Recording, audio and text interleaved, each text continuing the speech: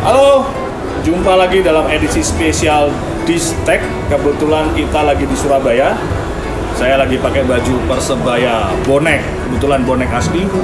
Kali ini kita akan menemui salah satu entrepreneur teknologi. Beliau mempunyai produk accounting yang ngakunya nomor 2 di Indonesia.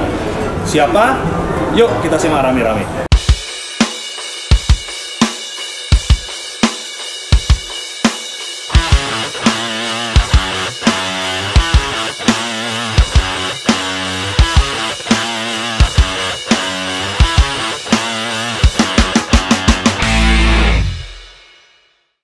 Mas David, Halo, apa Mas. kabar? Baik. Oke, aduh, lama nggak ketemu ya? kita ya? Iya nih. Oke, eh, mungkin bisa kenalin dulu Mas David. Jadi Mas David ini aku kenal dalam lama, lumayan lama banget, salah satu penggiat teknologi di Surabaya.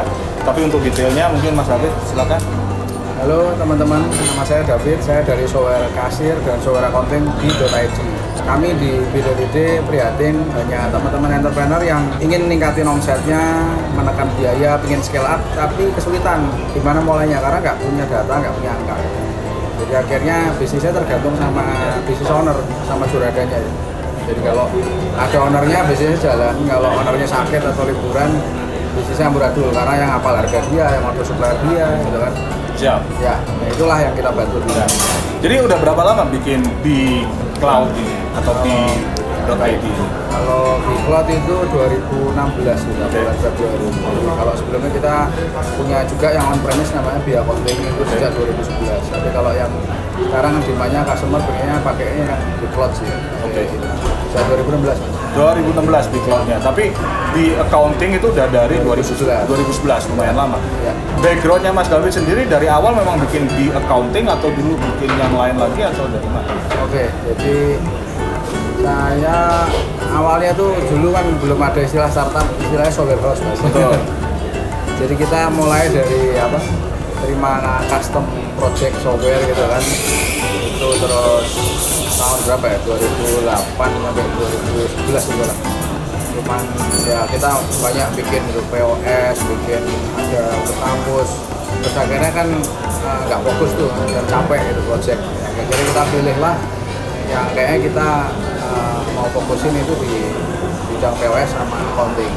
Akhirnya waktu itu eh, kita dari pengalaman project itu kita buatlah produk namanya di accounting. Oke. Ya, dan ternyata sebenarnya berangkatnya juga ternyata motifnya personal. Jadi saya ini terlahir dari keluarga dagang, jadi mami saya itu punya toko. Ya. Setiap malam saya harus jaga toko. gitu. Oke. Itu personal pay-nya itu. Oke. Nggak enak jadi anaknya Betul. pedagang itu teman-teman bisa liburan atau main game itu saya jaga toko terus itu. Harus nutup toko ya? Ya nutup toko juga dan jarang tutup. Betul. Maksudnya buka terus itu, nggak ada Ya ya ya ya ya.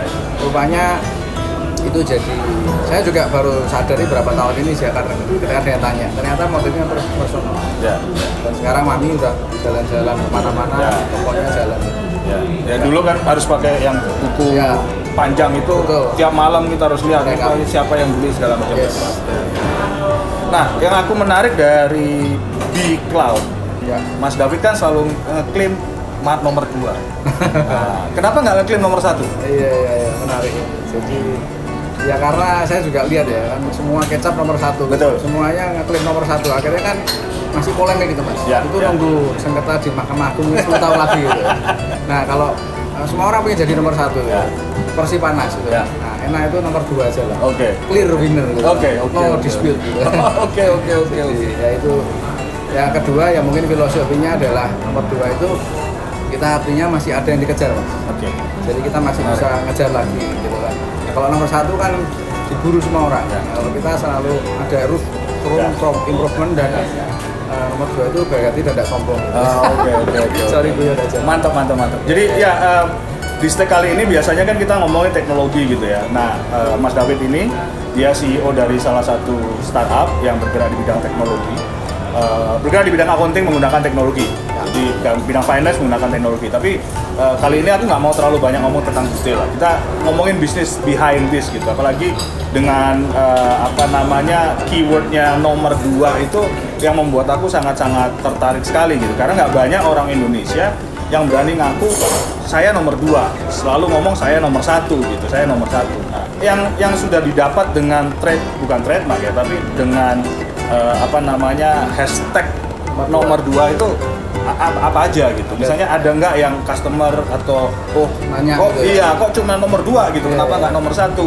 Atau ada kompetitor yang eh, oh dia dia kan cuma nomor dua gitu. Iya, iya. Gimana gimana? banyak cerita lucu sih mas jadi eh, pernah kita suatu saat pameran komputer gitu itu ada ibu-ibu gitu dia udah lewat stand kita dia kan nengok gini kan nomor dua gitu dia atret mas mundur Oke. Dede itu nggak salah tulis tadi Iya. Nah, kenapa bu? Kan harusnya nomor satu gitu. Nah, kalau saya tulis nomor satu itu nggak mampir di sini. Oh, pinter nggak boleh jalan. Nggak, cari software, cuma Oke. penasaran aja. Oke, oke, oke, oke, oke. Ya, yang lain mungkin kalau di search engine kan orang kalau cari suara konting gitu kan terbaik, terbaik nomor satu, nomor satu. Ya. Itu ada orang gila satu itu nomor dua.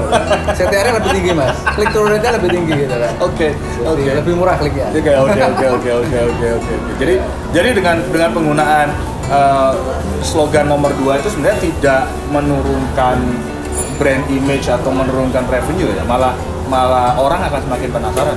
Ya, ya.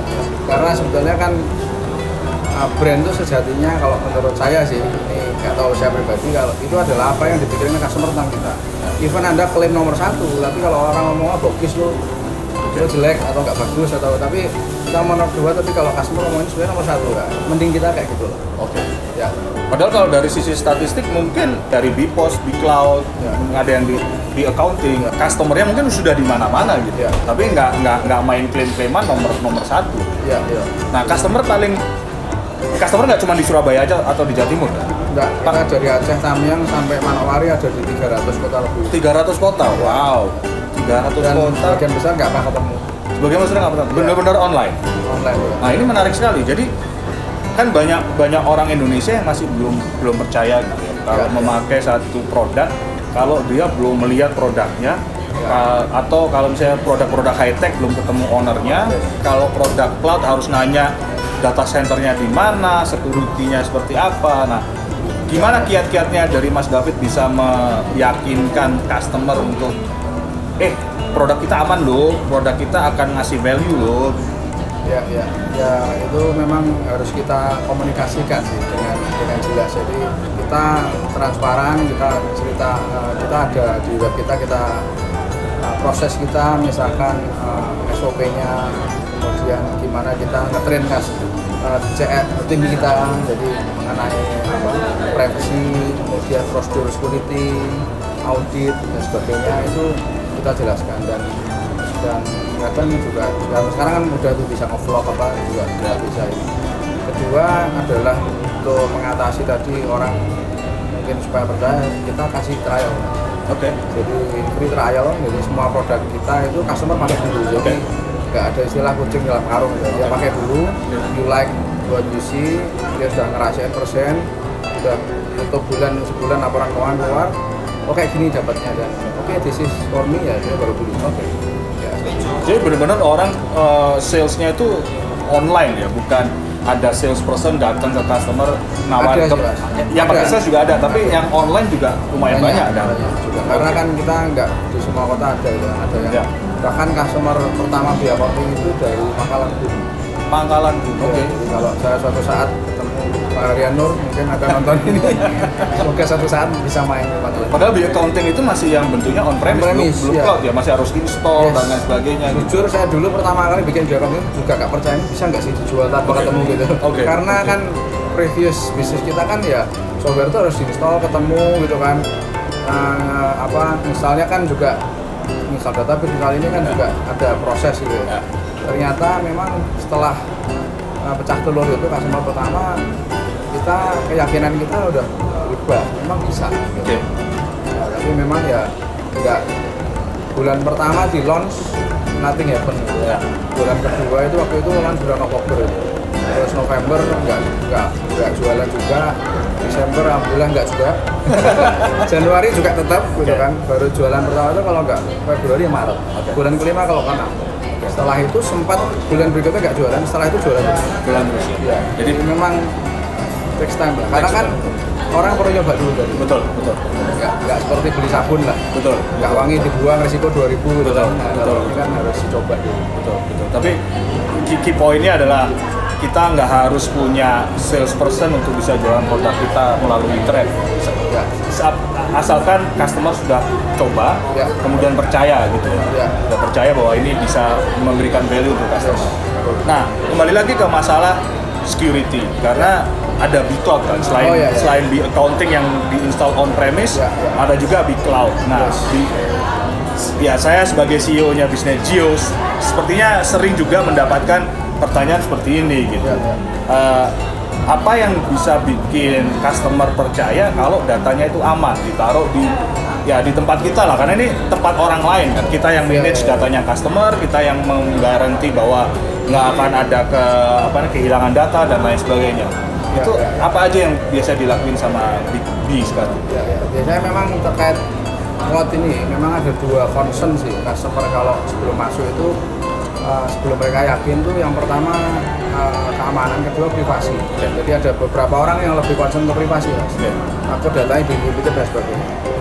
Jadi kami juga sadar akan hal ini dan kami juga dari situ mendesain satu arsitektur sistem maupun operation karena ini kan nggak cuman security itu kan nggak cuman secara teknologi firewall dan sebagainya tapi juga people-nya juga Ya. karena 90% hacking itu sebenarnya social hacking gitu. Oke. Nah, itu jadi yang pertama kalau security kita ada empat layer. Jadi yang pertama perimeter, jadi perimeter itu paling gampang ya firewall itu kan yang paling basic. Nah, kemudian yang kedua adalah eh, di level eh, server. Jadi servernya kita pakai yang OS-nya yang long term support, kemudian auto update, kemudian kita juga pakai intrusion detection system. Kemudian yang ketiga adalah di level aplikasi. Jadi aplikasi itu semua inputan uh, query string, uh, login apa itu kan ada SQL inject dan sebagainya. Itu juga kita apa ya ambil precaution lah di situ untuk, untuk pengamanan. Dan yang terakhir yang paling penting sebenarnya di, di user sih brainware. Jadi kebanyakan saya sendiri juga ah, dulu kuliah kan ya waktu muda masih suka main-main security gitu kan tahu lah. Jadi kalau kita nge brute force itu kemungkinannya kan kecuali kita bisa take over superkomputer itu almost impossible lah. Untuk crack semua kombinasi tapi paling gampang itu kan dictionary. Ya ya. Nah oleh karena itu kami juga memprevent user itu passwordnya pendek. Harus minimum 8 atau 10 kombinasi angka. Karena Oke. usernya komplain "Lu kok ribet banget sih gitu kan. Tapi data keuangan gitu loh. Betul. jadi harus kita amankan. Terus kemudian kita juga cek dengan 3000 common password orang Indonesia. Oke. Jadi kalau hacker biasanya nge-crack itu pakai dictionary paling gampang. Betul. Dan password kayak rahasia Ya, satu dua tiga empat. Atau password. Ya atau password. Kan itu yang isi apa ya low hanging fruit lah. Ya, ya, ya, Nah, itu ya, juga kita kita amanin. Oke. Ada rencana nggak? Atau memang mungkin sudah gitu untuk ngambil eh, compliance semacam ISO 27001 atau yang lain? ya masih terang bagus sih. Ya bisa juga Jadi mau ada rencana juga Ya, mau ya. ambil ya. Oke. Oke, pertanyaan terakhir deh. Ini dari 2016 untuk di cloud, 2011 untuk di accounting. Kira-kira suka dukanya apa ber- berbisnis di dengan menggunakan teknologi informasi suka duka dalam hal bisnisnya gitu. dalam hal bisnis dan juga dalam hal mungkin managing the, the whole company. Oke, yang pertama saya lihat consumer behavior berubah. Kalau dulu kan uh, memang teknologinya speed internet, kemudian harganya juga nggak seperti sekarang sehingga memang sekarang trennya marketnya tuh inginnya sih lebih senang ke cloud. Nah, kemudian uh, mungkin proses kami secara bisnis untuk merubah organisasi untuk dari banyak hal ya. Yang pertama dari sisi bisnis model. Ya. Kalau dulu jualan Innova, sekarang rental Innova gitu. Ibaratnya. Itu kan perlu juga penyesuaian. Gitu. Betul. Sekarang operationnya kan masih tetap. Betul. Kedua, secara teknologi juga kita harus banyak belajar hal baru, tech-tech baru gitu kan. Kalau dulu di install di komputer customer mau space kurang, mau OS-nya nggak compatible itu kan ya di sisi customer ya. Nah, sekarang itu jadi termasuk backup, security itu kan jadi jadi tugas kami lah. Memang uh, kita banyak melalui proses ini banyak belajar. Jadi Seperti itu. sekarang lebih banyak sukanya daripada dukanya. Ya, gitu. Alhamdulillah banyak juga ya. Jadi kalau dengan cloud itu kan customer juga lebih happy karena bisa Yes. deliver lebih cepat kan ya. Nggak harus dan selalu up to date mas dan selalu up to date betul Iya. nggak harus install update Iya, lah harus ini segala macam oke oke oke oke Mas David terima Thank kasih sukses Oke, jadi sekian pembicaraan kita dengan Mas David Yulianto, CEO dari B, yang produknya adalah B Cloud, B Post, dan B Accounting. Mungkin kalau mau uh, tengok-tengok websitenya bisa di b.id atau Ya. bcloud.id ya. b.id sekarang jadi satu Oh jadi satu, sekarang jadi satu b.id. Oke, Tri- sekian terima kasih.